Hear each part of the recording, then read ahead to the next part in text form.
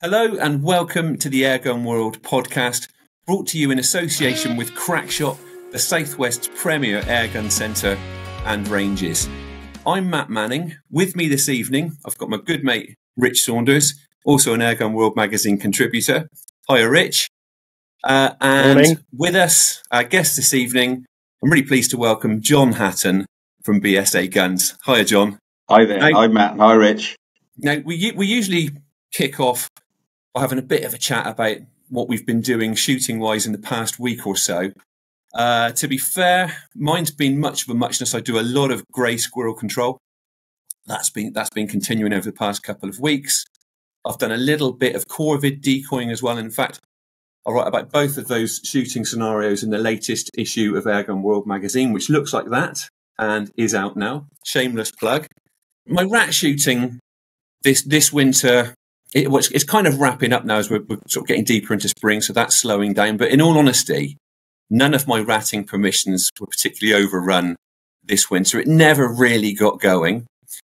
So I'm going to hand over now to Rich, who I think we're going to have a regular section in the show where Rich gets a few minutes to make us all really jealous with his permissions. Rich, tell us about your recent rat shooting trip. So I I played darts for the village pub darts team, and we had a couple of new guys joined um, a few months back who just happened to be gamekeepers. You know, perfect timing. And um, they're gamekeepers on a on a large estate down in Hampshire. And they said, "Rich, you've got to come out and shoot some rats. We shoot hundreds and hundreds of rats." So I went out uh, last week. Um, they've just cut three cover crops and had a load of waste maize um, on the ground. And they said, "Oh, you know, we shoot hundreds and hundreds and blah blah blah." And I kind of took all that with a big bag of salt. And oh my god, I got down there, Mat, and it was like a scene from a horror film. I've never seen so many rats in all my life. We drove past a couple of fields, and my eyes were popping out of my head looking through the thermal. And they said, "Oh, there's not many there. We'll go on to the next one." And we just kept going, and, and the further we went, the more rats there were. Um, so there's three of us shooting, um, just walking up a up a hedgerow, um, you know, in different locations. And by three thirty in the morning, when we called it a called it a day or a night, we'd shot over nine hundred rats. And we know that because we all had uh, Dorman's clickers to keep a tally of, of, of what we were shooting. And the conditions were perfect. It was still very dark. Wind was in the right direction. You know what there was. Um, and yeah, I would make my way up a up a hedgerow, shooting rats as I went. And when I stopped and turned round again, they'd all come out behind me again. You know, 12, 15 yards away. It was just unreal. It really was. I mean, and you know, I can't wait to go back again. To be honest, yeah, nine hundred rats that, in about that. That five, is incredible. So when you're shooting that number of rats, like I've just said, the ratting on my farm's been my, my farm permissions. It's been pretty modest, to put it mildly, this winter. So it's been a lot of bait and wait, put down Hmm. bait spots, target areas that are a little bit busier than others, wait for the rats to come out, pick them off from a static position. Obviously, you're not messing about like that on a session session like the one you've had. No, it's it's one of the few times where I've had to. I, was- I was out with my. I was using a, a BRK Ghost, the small one, so not the biggest air capacity, but you know, I don't know, two hundred shots or something to a fill. And I was it's the first time I've had to fill the tank up twice, um, you know, and crack open a new a new tin of pellets. Um, yeah, just literally, you know, they they were so intent on on getting the, the last of the maize on the field and they're sort of digging into the field and everything that they were largely you know and I could shoot three or four in a group of five or six before the other two cleared off. Yeah, just incredible. I mean, I, I'm sure. Well, the guy said that they've had two or three nights like that, um, and I'm sure that once the maize is gone, then the rats will disappear again. But Yeah, for the moment, yeah, and they they they say they've shot nearly four thousand um, this year already. So yeah, and I can believe it. I you know, having seen it with my own eyes, I could yeah, it wasn't uh, they weren't telling tall stories. I'm very, very jealous, and I will bend your arm to come out and join you there at some point, may, maybe next Yeah. winter. Jon, do are you a shooter, and do you get the opportunity, if so, to do much shooting? Because I know certainly the past couple of weeks, months, you've been all over the place with, with shows and foreign travel. Yeah, uh, in answer to that, I am a shooter and have been since um, my early years, um, where I used to do a little bit of bunny dropping, a bit of pest control in the fields quite close to where I live.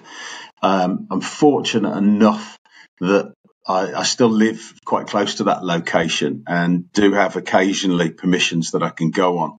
Um, however, due to travels, work, and when you're immersed in um, guns uh, nine to five, and in fact, it, out of those hours as well. Um, often, you know, any little bit of downtime gets consumed by family and other things, but I do try to as much as I can.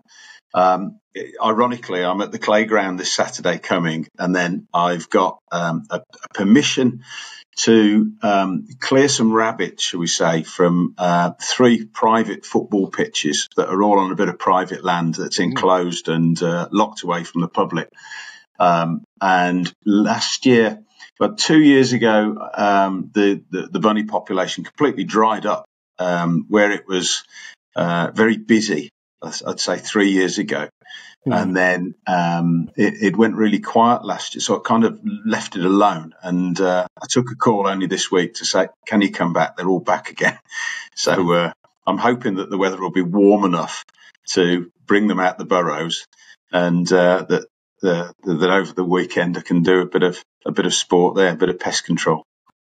So bringing it back to, to BSA guns, Jon. I mean, it, it's it's a brand that will chime with with most shooters. most of us are well aware of it. It's got a really rich heritage. Can you give us a bit of a, a potted history on, on BSA guns? Yeah, yeah. I mean, we've been uh, around a long time. Um, uh, as a collective prior to the company actually setting up in 1861. So it'll be a bit of a crunch version, this one, but um, I'll, I'll, give that quite a, a, quick summary if I can. But um, basically, uh, going back to the court of William and Mary, um, the king overheard a conversation. Basically, there was a, a, Birmingham MP called Richard Newdigate that overheard the king expressing his displeasure at buying snaphance muskets from the Dutch for the British Army. And basically, the MP from Birmingham said, "Hold on a minute, I know some lads in Brum that can make some good guns. Can you give them a trial?" Which they duly did. Um, they had a trial order for a hundred uh, muskets, which they supplied. And um, th- that little collective of Birmingham gunmakers continued to supply the British Army for a while until they became so successful that um, they decided to pull the company in together and have one business name, which in 1861 became the Birmingham Small Arms Company. Um, since that time, obviously, a lot of the production in World War One and Two um, was for the, the, British and Allied forces, building many, many different guns, mines, rockets, fuses, bicycles, the folding paratrooper's bike, um, even a car at one point, um, to the extent that um, BSA bought the Daimler Motor Company. They also owned Norton motorbikes at one time. Hmm. Um, so it, has been um, uh, a real busy time for them. And basically, they were a self sufficient company um, and wanted to be. So, where we're on Armoury Road in Small Heath, Birmingham, we run parallel to one side of the factory is the, the railway line, and the other side is the canal, which were obviously the motorways of the time when they set mm. up. And they decided to make their own steel in Sheffield. And if you or anybody listening owned a spring company or a, a, wheel company or a cog company, they'd buy your company, put you in charge as Mr. Director, but call it BSA Springs or Cogs or Wheels. And um, that was basically um, where we came from. Um, we diversified into air guns um, from the Lincoln Jeffries models, which was BSA produced according to somebody else's pattern um, around the turn of the last century and then BSA started doing their own. Um, I'm not too sure actually what year that was, but we've you know been producing under the BSA brand for you know over a hundred years certainly. So, um, and then that leads us into present day, where the, the concentration is is is uh, entirely on air guns. Um, still some traditional break barrel production, but predominantly on PCP. John, I, when I hear BSA, you know, the, the thing that always springs to my mind, synonymous with you, is the cold hammer forged barrel. Yeah. And I know it's a very, very good thing. Other than the obvious, I don't really know how it's made. Can you kind of explain to me, other than it's hammered and it's cold, how how a, how a cold hammer forged barrel is made, and also what makes it better than any other manufacturing process? Okay. I mean, basically, 35,000 hammer blows achieve the, um, the, the end product of our barrels. Wow. And um, the, the hammer blows are, are, if you can imagine like a large lathe, I mean, I, I'm, I'm talking non technically here because I think it, Good. it, it, it may best describe to the majority of people. It's quite a long and quite an old machine, but um, a, a mandrel, if you think of almost a, a thin biro uh, center going through a pre-drilled metal barrel, so the, it's pre-drilled. Mhm. The mandrel goes through the middle, which actually has the rifling on it, and it goes inside. And all around the barrel, the large hammers, which each hammer is like an anvil. You know, they're like a, a small anvil. They're Wow. they're they're hit onto the uh, surface of the barrel um, as the barrel passes through the hammers. And what this actually does, it forms the external diameter and the internal rifling. Um, and also, one of the final processes, it also um, puts a true crown on the end of the barrel, um, which gives it, we believe, supreme accuracy, um, more than many barrels that are available in today's market do. But that's basically the the forging process. That's not the total process, and we haven't discussed finishing or the, you know, the CNC um, uh, drilling uh, and machining that goes on to actually drill uh, holes and grooves that actually accept the action and you know enable it to be put onto a finished gun. And, But, and I guess um, because it's a a cold process and the metal isn't heated up. No, not at all. Yeah, And the- it's, You're it's not affecting it's- You're not affecting the, the metallurgy. You know, you're not changing the, the, the substance of the metal at all. You, you're not, but the hammered forging process does actually increase the, um, it improves the structure, the grain structure Mhm. of the, the steel. It actually makes it stronger and tougher. Well, well, it certainly works. And and cold hammer forged barrels forever on BSA rifles, or is that a an evolution, or is that how they've always been it's, done? It's, it's actually the Cold Hammer Forger was there from uh, when from the production of the bullet guns. So we've Oh. been making gun barrels on that. I always think it's quite a nice thing to have, particularly for an air gunner um, who, um, in many cases, hasn't got a firearm and doesn't necessarily need one, but he, he, he quite likes to feel that he's shooting one.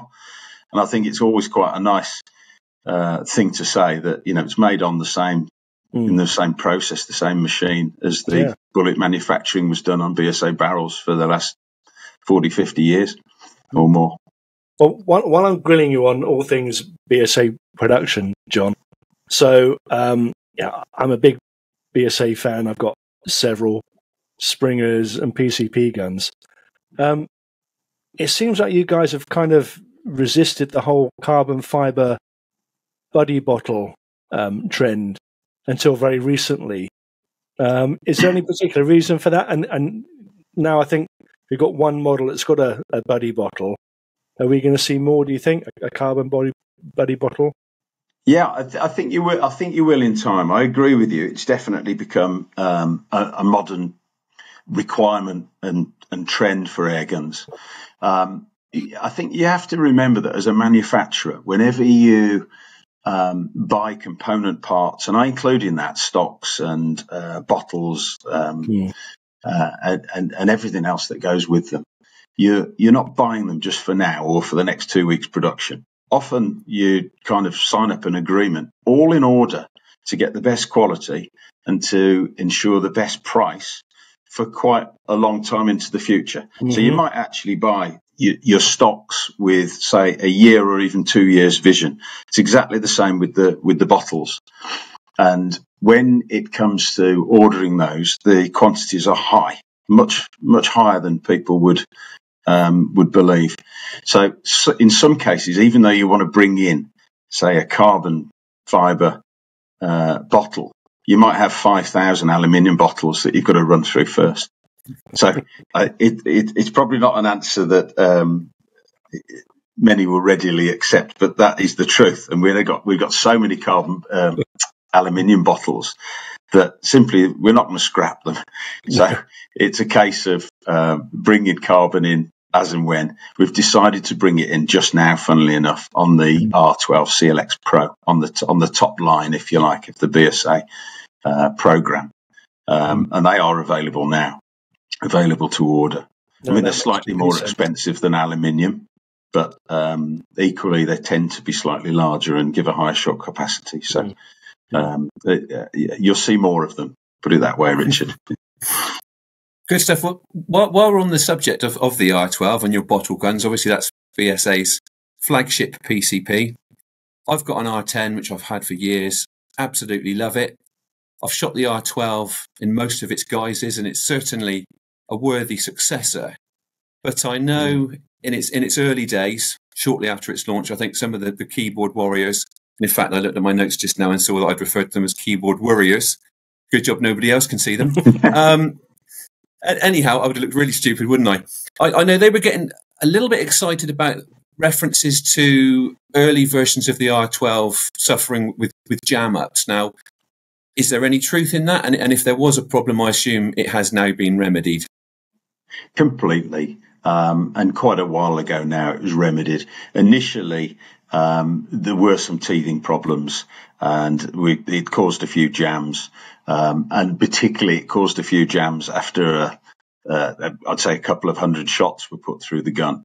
So anybody that had one with an issue would know about it, um, and anyone that reported it at the time has been since dealt with.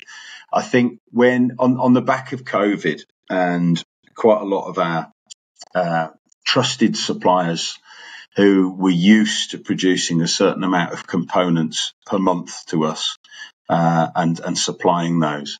On the back of COVID, where basically airgun world went berserk, and a lot of people had got ready cash and started buying air guns. Um, and a lot of manufacturers, I imagine it would be the same for many, um, including ourselves, that had to uh, produce more guns. And I think as a result of extra weight on suppliers to supply sooner and greater amount of parts, there were some inconsistencies that normally aren't there or weren't there that became apparent. It's actually forced us to, in some cases, reconsider some of uh, component suppliers, help them improve in many cases, and also, we've put some steps in our business that um, will, will, prevent anything like that happening happening again. It wasn't many that it actually affected, but as you say, the keyboard warriors um, caused quite alarm, and uh, as if it was a widespread problem, and it wasn't. You know, we see the stats of uh, guns that we produce, and we see the few that come back with an issue. And at the time, there were only a few, but they've since been dealt with. I mean, regardless of that, you dealt with it so comprehensively because I know, you know, we've had conversations about this in the past, and it was it was a real kind of um, all hands to the pump to fix it. So good for you. Yeah, yeah. We, I mean, we strive for perfection, like every company out there, I imagine, all trying to do our very best and trying to improve every day that we come in and work. Um, and you know, we don't always get it right. We try, we try to, um, but we, we, believe that, you know, th- that issue has made us stronger. It's made the product better. Mm. It's made our uh, uh, systems inside more robust. So hopefully we're in a good position to kick on. And the, the, the last year or so has been evidence that we have and will continue to do so. And that, that R12 platform, you know, it, it's, it's seeing sort of numerous variants coming coming onto onto line on, onto the market. And I saw at the British Shooting Show that the new takedown version was getting a lot of attention, and, and its unusual sort of stubby square shaped box or squarish box. Can you tell us a little bit yeah. more about this model and how it came to be? Yeah, yeah. It basically came about due to conversations that we had with uh, pest controllers and pest control firms um, that wanted something that was small and compact, yet really wanted the features um, and uh, uh, uh, of, of, quite a large gun. And we were thinking, well, hold on a minute, this is a bit, this is a bit, um, you know, cross purpose here. So we, we thought, well, if the stock actually came off the the gun easily and fitted back without any hassle and in seconds, then we could actually put the gun in a smaller case. Um, so hence the, the, the takedown idea came and this quick release screw underneath that does enable you to, you know, assemble the gun. The scope stays in place. The gun, the gun's action fits so snugly in the stock that um, your, your, zero positions held. There's no there's no opportunity for it to move forward or backwards when putting the stock back on the gun. Mm. So um, we thought, why don't we do like a complete package, and not just for the pest controllers, because many people live in smaller houses, flats, apartments, what have you, who don't have a lot of space to store the gun. Um, there's also the fact of transportation to the range or wherever you may be shooting um, that uh, the, the, long cases don't tend to fit in many boots. You know, a lot of people put them on the back seat of the car or stand them upright with a seatbelt around them, etc. So we thought, why don't we put them in a small compact case, have the foam insert fitted so it accepts the silencer and the the scope action and and any accessories that we put in there, and even a tin of pellets. And uh, that's how the idea kind of evolved. And it seemed that everybody that came in and kind of saw the prototype thought, why didn't you think of this before? it's, um, it, it's a good idea. So, um, yeah, the, the, the, case, Mat, in answer to your questions, more like um, a hammer drill case. And we've even resisted the temptation to put the BSA logo on there because we just thought, well, that gives the game away if pest controller or somebody's walking through a shopping centre or a public area and they don't want it to be known that there's a gun in there. That's another advantage, you know. The, the box, yes, it's it's easy to store in your house, it's easy to fit in your car, but there is that advantage of it not obviously being gun shaped or mm. gun proportioned. So it's quite a discreet means of transporting an, an air gun, isn't it? Yeah, definitely, definitely. Great. Well, mm. we'll, we'll, we'll move on to the section now where we, we tackle questions that we get from readers, listeners, viewers, however you want to refer to them, everybody that's that's that's tuning in and taking an interest in what we're up to. Rich, do you want to kick us off with that one? Yeah, so this is a, a, a question that's been submitted anonymously, but it's it's a good one, and it's something that I must admit I grapple with from time to time. Um, but the the viewer asks: Are FAC air guns worth the fuss, or is it better to go straight to bullet firing rifles if you want more power than the sub twelve? So I'm guessing like 22LR, 17HMR maybe. So I know you shoot FAC, Mat. So why don't you kick us off with that before I throw my pen in?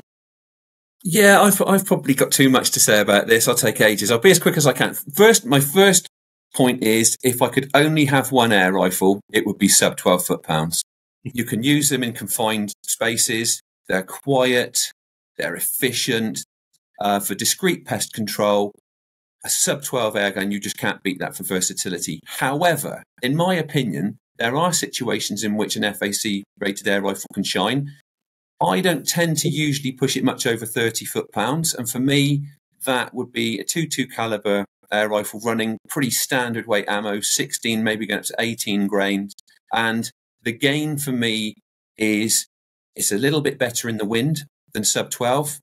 It makes your heart and lung shots more more dependable, cleaner, faster. So it opens up another kill zone. I tend to stick to headshots only with sub 12. And it just gives me that sort of 2 2 wallet with what would be regarded as a 177 trajectory. I don't really stretch the range. Even with FAC, I rarely hunt live or shoot live quarry beyond 50 meters. More often than not, it's less than 30 meters and certainly less than 35. So when I'm making a video using an FAC airgun and people say this isn't relative to us, uh, relevant to us, we shoot sub 12. Actually, I'm using it exactly the same as I would a sub 12, but maybe it's a breezy day. So I'm just using it to iron that mm. out. Or maybe it's going to be a tricky day and having that wider range of kill zones on offer is an advantage. But I don't tend to really, really push the power hard. I haven't really got to grips with slugs yet, so I'm not pushing the power that far. And in my view, once you really start to, to up the, the foot pounds, you know, really pushing the power up, you probably are best going over to a powder burning rifle because you're starting to lose all of the things that make air guns brilliant. Like I said, they're at sub 12 foot pounds and, and lower FAC levels, they're incredibly quiet.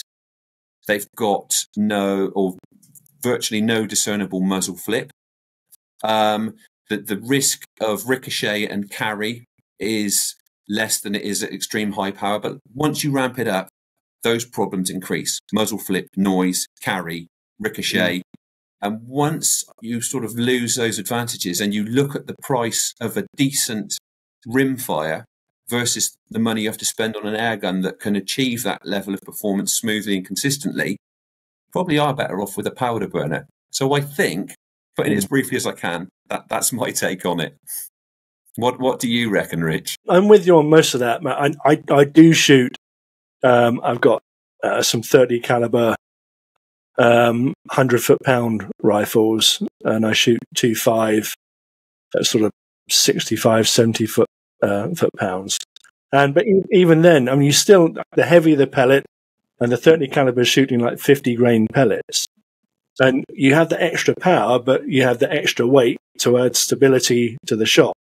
So even then, I'm, I'm and I only use mine really for shooting, uh, shooting rabbits um, sort of 60, 70 meters. Maybe I might go out a little bit more, sort of closer to 80 meters. Um, but again, you know, it's the wind value, you know, it's, it's the wind beating value um, that really helps. And also the fact that you're just throwing a, um, a, a, really heavy you know, air gun pellet at you know, near enough 900, 950 feet per second. Um, and a lot of people say to me, you know, you should be using 22LR and or 17 HMR. And, and yes, you know, I, I can see their point. You, you, know, the thing is with 17 HMR is it tends to blow things to pieces. And, you know, most of my rabbits are eaten, either eaten by me or by my uh, local falconry centre. And that would, you know, it wouldn't be possible to do that with one seven HMR shot uh, rabbits. 22LR skips. Um, and at the end of the day, the main reason is that I like air guns. Um, no, I, you know, I'm not saying I dislike powder burners, but I like air. I shot air guns all my life, and you know, I'd like to sort of push it to the the sort of the uh, almost as far as they'll go. So uh, yeah, but yeah, everything else, um, squirrels, rats, pigeons, is all sub twelve foot pound. But yeah, I like to use the big guns on the on the on the rabbits for longer distance. How about you, Jon? BSA obviously has some FAC rated rifles, but probably best known for its sub 12 rifles. Do yeah. you get to shoot FAC air rifles? I, I, I, do have one. I have an R10 that's in FAC, um, and it, it's um, it's at, it's at, it's in two five. I think because I grew up and probably ninety five percent of all of my shooting has been with um, you know sub twelve foot pounds. Hmm. I think that that's I'm more comfortable with that. I know how to get in range. I enjoy the field craft of getting relatively in close to a rabbit. I think if there's a certain situation where I need a little bit more distance um, and don't, uh, you know, are unable to get too close, um, but even then, I'm only t- the, the FAC is going to give me what 20 yards extra distance. I mean, I, I, I don't shoot at silly distances. You hear a lot of uh, talk in shooting community of, uh, mm. of, of longer distances than I, I, think they individuals should be shooting at. So for me, it's only given me about 20 yards extra using the FAC. So I prefer to use um, mm. sub 12 foot pounds. Well, let, let, me follow up then with another question. Um, this time from Tim Naylor, um, who has asked what the difference is between a spring rifle and a gas ram. Is there much difference between them, um, in particular to the actual experience of shooting a gun? So, Jon, let me kick off with you first because you're, you know, you, you make these things. So, why don't you talk us through the difference between gas ram and, and Springer, Um, basically, uh, you, if I start with your traditional spring break barrel rifle, um, over time the spring will lose a little bit of its um, elasticity and it'll lose a bit of its energy. Um, so there's one possible negative, although that's over quite a, a long, lengthy time period. Um, but also, when you break that barrel, when you break the gun open and put your pellet in and close it, when you pull the trigger, that spring that you've compressed doesn't just go forward and stop, you know, shunting the pellet down the barrel. It twangs to and fro um, until it slowly comes to a stop. All the while it's doing that, that pellet's traveling down the barrel and without actually, even the, the steadiest hand will wobble to some degree with that. Um, I would say that with a gas ram rifle, you get um, it, it, it's it's the same cocking method, but you're compressing um, a, a, gas ram that isn't too dissimilar to those struts that are either side of your car boot. And when one of those shoots forward, it does stop. So it still gives recoil, but it's one abrupt instead of ding, ding, ding, ding, ding, backwards and forwards that a spring would give. Um, so therefore, for that reason, I would say that most shooters would shoot more accurately with a gas ram than they would with a spring. Hmm. There's other benefits of gas ram because it is a little bit more expensive than uh, than, a, than a, a, spring engine, if you if you like. Um, the um, the gas ram also provides less abrasion, uh, metal on metal parts inside the gun, and it's also a sealed unit, so that when we do in our machine, say a 3000 shot test, the power level that the gun produces should be the same from the first to the end. Mm. As with a spring, you'll see a power decrease in that time. So I think they're two main reasons, possibly three, that I would say I'd use to explain the difference, but also the benefits of a gas ram over spring. Mm. Um, there's also um, it, it, uh, decreased lock time uh, on the gas ram, um, which we measure from the second you pull the trigger, basically, to the time that the projectile exits the, the muzzle, mm. um, and that's uh, shorter with a gas ram than it is with a spring rifle, mm. Mm. allowing less time for the pellet travel down the barrel for you to wobble hmm. and uh, send the projectile off target. so um, yeah, but you have got, you know, it might all be about budget. And once you get used to both, you'll shoot fantastically well with both. So budget wise, the spring rifle will probably be mm. 40 to 60 quid cheaper than the gas ram equivalent of the same model, mm. if you get me. gotcha, gotcha. How about you, Mat? Much experience of shooting gas rams? Not a not a lot. Um, I, one thing I would say is they've definitely improved. I can remember my first experience, and also it was probably down to a lack of familiarity. But um, this is a long time ago now. It must be about 25 years ago, maybe more. A friend got a Theoben Sirocco, which I yeah. couldn't wait to get my hands on and have a go with it because I read so much about these amazing gas ram air guns. And my first experience of it was even this, you know, hallowed name, the Theoben brand, which was massive at the time, it was so harsh. It was fast. It was very. You could, you could tell the lock time was was swift. It, it relative to the, the soggy springers that I was accustomed to. It seemed like the pellet was hitting the target almost before I pulled the trigger. But it felt very snappy. I thought my fillings were going to fall out, and I was actually sort of quite happy to get back onto a spring gun. Um, but yeah, it was a different shooting experience, and in fact, even the less expensive gas rams now, I think, are actually smoother than those earlier Theobens were. So the technology's come, come a long way. And, and yes, mm. it was certainly faster. What about you, Rich? Mm. That's interesting because I've I've got a Theoben Sirocco, um, and following on from the last question, it's a 18 foot pound FAC. They've also got a 26 foot pound um, el- eliminator, and right. the, the Sirocco gets a bit of use getting used to, but is I, I love shooting it. The the eliminator is enormous. It's longer than a test match. It's huge, and it will take your teeth out every single shot. Accurate, but you just have to sort of hang on and hope that you're still sitting down once you pull the trigger. And I think it, it seems to me, and I think your point, Jon, about price is a good one because I think budget um, gas rams, you know, my experience, the vast majority are just hateful things. You know, they've probably been made super cheap to still be budget when there's obviously more manufacturing money in there than it is to make a cheap Springer. Um, and then I think yeah, there, there's there's a big jump then up into up to the uh, you know the the Lightning G, the GRT Lightning and the HW90 I think it is the Weihrauch at the top there, and there's a big gulf then down to the sort of the the cheaper nasties.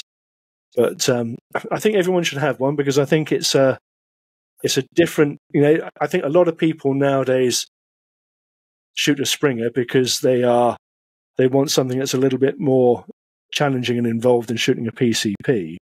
And if that's you, then shooting a gas ram is an extension of that kind of self challenge. I think. But those are all the questions I had. I had Mat. Do you have any at all from from viewers? Yeah, um, I've I've got a, a slightly contentious one. We, I think we, we struck a bit of a nerve last time we were on. Uh, I won't put names to it, but we picked up on the subject of shooting rabbits during the springtime when, as we mm-hmm. had pointed out to us, that's likely to be their breeding season. And the question was raised as to whether we should or shouldn't be doing that. I'm, I'm going to jump in very quickly and say I, I have permissions where I shoot the odd rabbit for the pot. The landowner isn't desperate to have them eradicated. Some of those permissions have been uh, hit quite hard by the hemorrhagic virus, and I've been leaving off of those permissions certainly during the breeding season because the rabbits there aren't there in the numbers that they used to be. So giving them a chance to bounce back. However, the majority of the rabbit shooting that I do, and I'm sure it's the same for you, Rich, is pony paddocks, horse paddocks, where the owners are desperate to stop rabbits from digging burrows that a horse or pony can put its leg down, break its leg.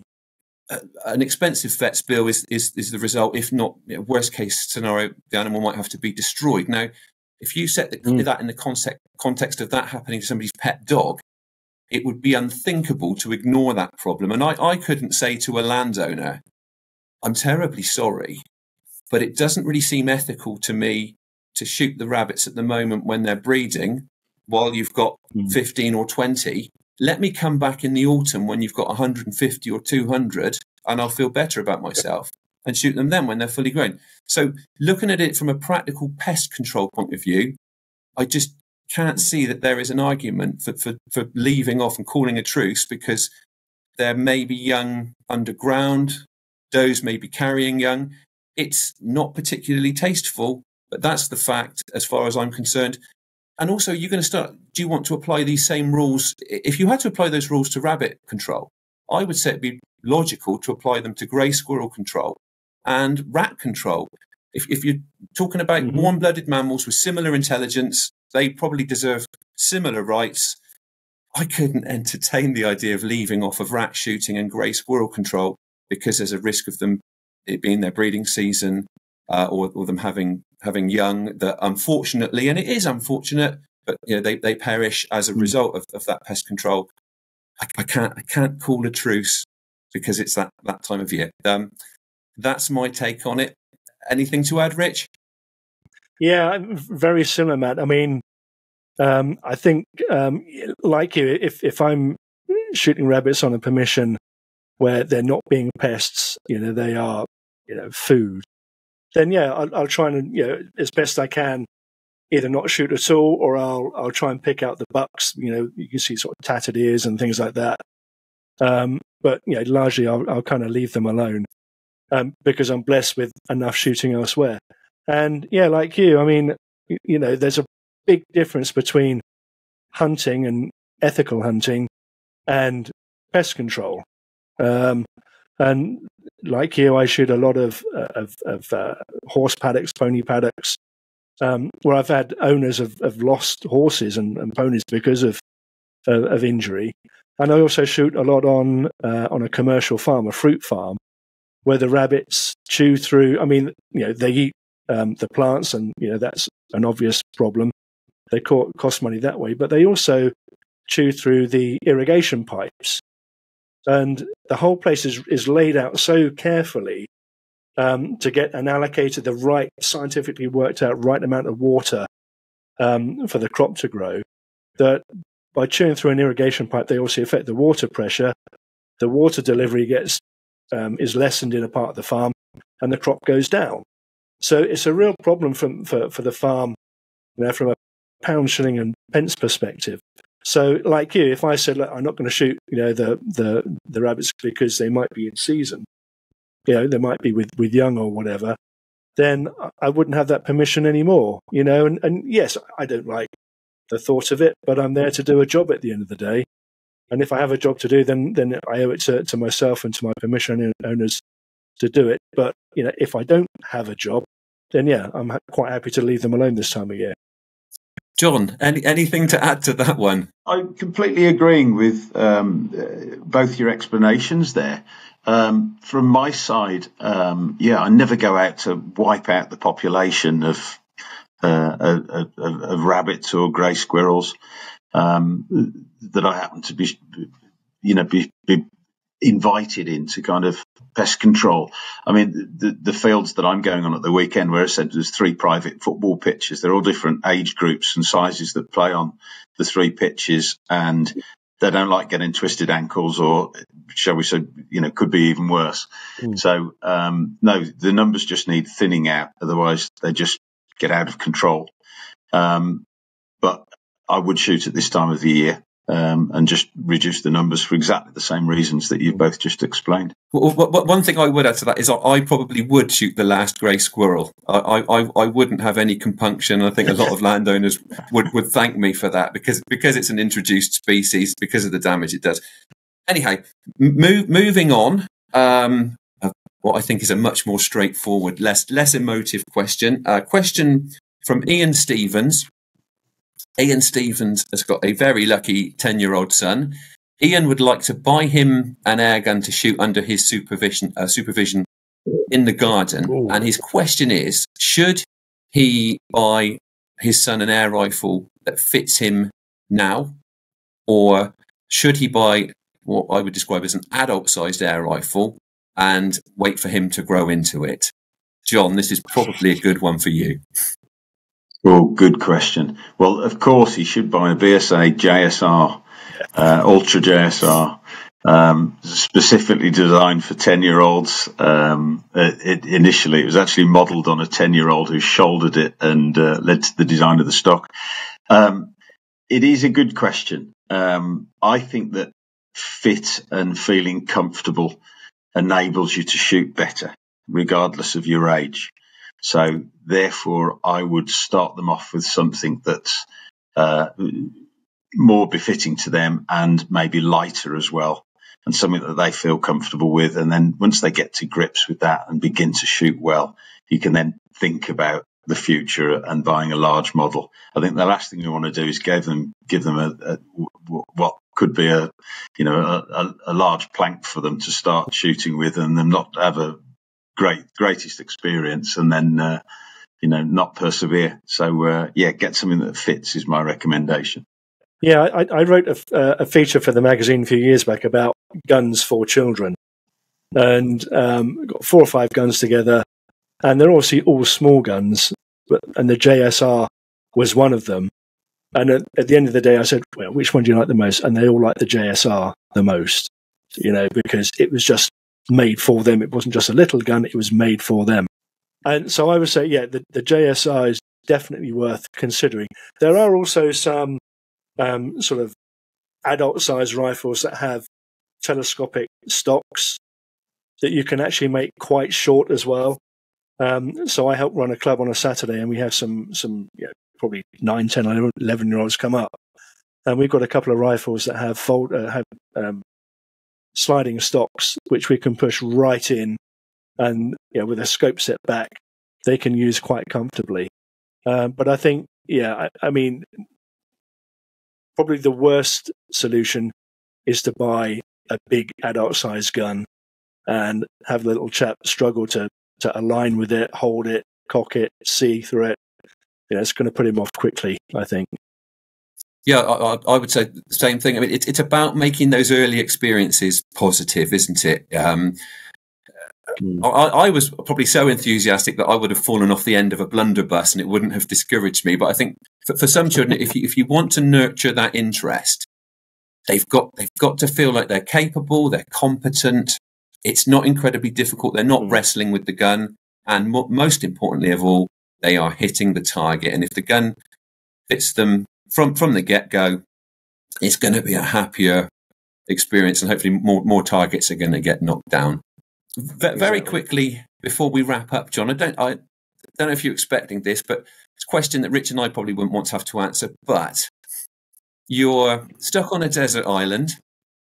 You're allowed one air gun on your desert island. You may have alluded to what this might be earlier on, actually, when you're talking about hunting, but one desert island air gun you you can have a compressor on the island if you need one, but uh, what what will, would your desert island air gun be?